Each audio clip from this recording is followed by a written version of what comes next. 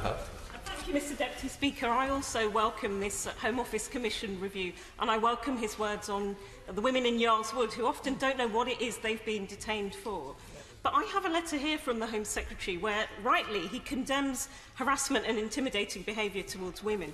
But he also says, I will make an announcement before the summer recess with a view to recommendations, and that's regarding the Home Office review into women seeking uh, abortion healthcare. It was, uh, it was uh, announced by his predecessor in November. It closed in February. His letter here, it took 160 members from both sides, including the father of the House, the uh, chair of the Home Affairs, Health and PACAC committees to get this undertaking. There's four hours left, Mr Deputy Speaker.